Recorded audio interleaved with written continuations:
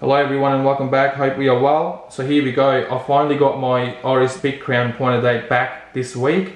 Now if you remember from a few weeks ago, I made a quick video about this particular watch when it arrived faulty from the retailer. So I had to send the watch back and this is the replacement uh, of the watch that I received in the first instance. I'm so glad they sent me a replacement and not fixed the one uh, that I received faulty. Now before we start with the video, if you like my channel and like my reviews, please subscribe to the channel, hit the notification bell and the like button if you enjoyed today's video and the other content on my channel for that matter. Uh, quickly about the strap, this is the original leather strap that came with this watch. Uh, nothing wrong with the strap at all, I really like the quality of this strap as well, but I just wanted to keep this in a mint condition so I decided to take it off and it was so easy to take it off with this uh, quick release option on these straps are really thoughtful uh, from Oris. Uh, this is the price.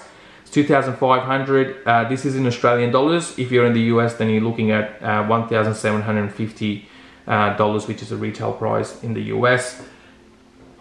Getting back to the watch that we have with us, I really, really like this um, deep, uh, rich red or burgundy color on this um, on this dial. I really dig the color. We'll talk about the dial shortly, but I'll quickly uh, touch on the uh, dimensions. So the case measures at 40 millimeters across. The lug to lug length is 47.9 millimeters. The uh, case thickness um, was around 11.9 millimeters, and that is including that dome shaped uh, sapphire crystal on the top. That adds a fair bit to the uh, thickness as well. The lug width on this one is 20 millimeters, so plenty of strap options out there with that lug width uh, and you can see I've changed it to this uh, brown kind of retro looking leather strap so adds further to the uh, the retro appearance that this watch is uh, uh, trying to achieve from Oris. Um, the case is made out of stainless steel. We have polished uh, finish on the sides of the case and between the lugs and then we have brushed finish on the top of the lugs with this coin edge bezel that kind of sort of um, hides away behind the lugs a little bit and then opens up again around the side of the case. Really nicely done. Uh, the polishing is really nice and um, it is expected the uh, the quality of um, of the finish on this watch is absolutely fantastic for Oris we have a signed crown um, a big crown at three o'clock. And looking at the dial uh, again I absolutely love this dial. It has to be the best asset of this watch, uh, the color and the way this dial has been put together. So this uh, burgundy dial is supported by the, um, or accompanied by these um, Arabic hour markers. Then we have the railway minute track that runs between the hour markers and the date function or the date complication. As you can see on the outer ring, we've got full 31 dates there and we have Oris printed on the dial just underneath 12 o'clock, big crown automatic just above 6 o'clock and you see those little triangles on the um, railway minute track um, sitting right next to the, uh, the hour markers. Those have uh, lume on them as well. So we've got luminous hands, these uh, cathedral style hands.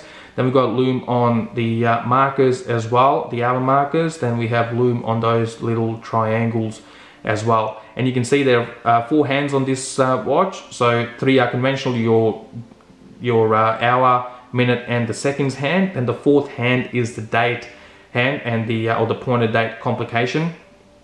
This watch is a great alternative for people who don't like uh, date windows on the on their watches. If if, they, if you like your um, your dial to be clean with uninterrupted with no date windows, a great alternative uh, with this uh, pointer date complication. There are not a lot of uh, watchmakers out there offering this uh, pointer date complication, but Oris have been doing this since 1938, so for a long, long time now. I can't think of one. If you know any other watchmaker offering this complication or something similar to this, please leave a comment um, and let me uh, let me know.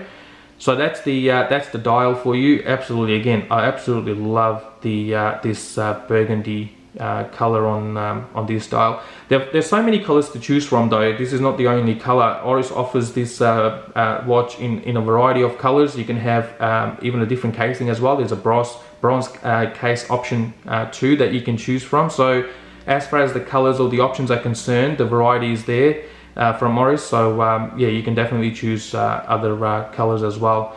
Um, so this so this is the the burgundy that I chose to uh, uh, go for. Now, I said earlier, there is a lume on the hands and the markers as well. Let's do a really um, real quick lume check as well. The um, the quality of the lume is is good. It's um, really strong on the uh, on the hands. As you can see, it's much richer on the uh, hands than on the markers and those triangles. The triangles have a, a bit more uh, strength uh, to the lume than the other markers, uh, but the hands definitely stand out with the um, with the lume. And for a watch like this, you can you can easily sort of accept uh, the lume quality like this. So um, and it's Oris's lume as well, so you can trust the quality too. So that's the uh, that's the lume on this watch.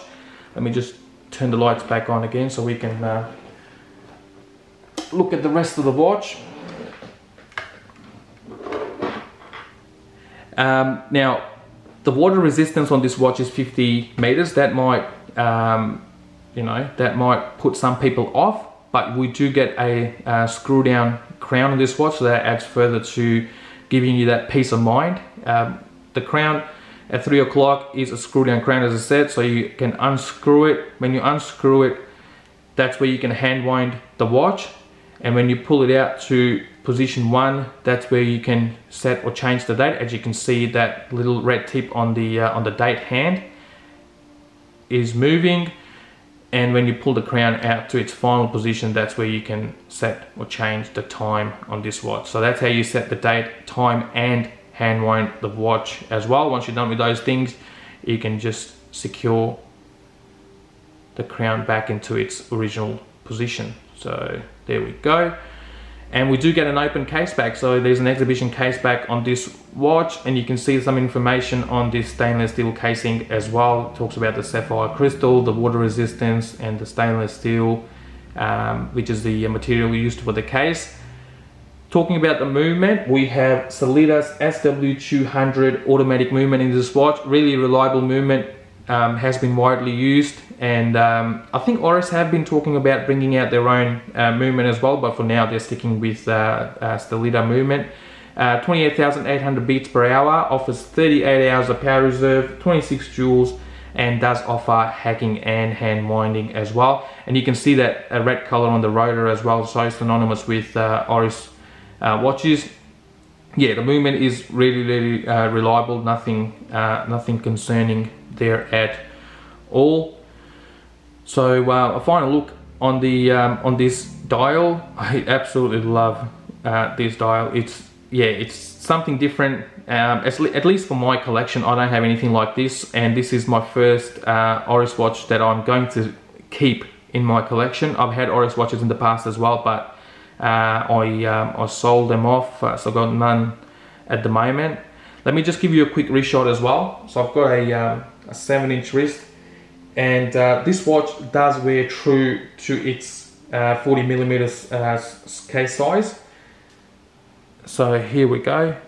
So this is how it looks on my 7 inch wrist. It sits fairly flat, so no bump on the case back. And yeah, it does look really, really nice. And uh, in my opinion, this uh, brown leather strap adds further to the uh, the retro uh, look that this watch is trying to achieve. So um, really, um, I really like this uh, strap as well. And as I said, 20 millimeter lug width. There's so many strap options out there. You can have this watch uh, factory fit with a, um, a, stainless steel bracelet as well, but I think this watch looks the best with um, with a with a leather strap. So um, I decided to go for this um, brown kind of retro uh, looking strap. So uh, give you the final look on my wrist. Thank you very much for watching. This concludes our review of this Oris. I'll see you with my next video shortly. Until then, stay safe and look after one another. Thank you.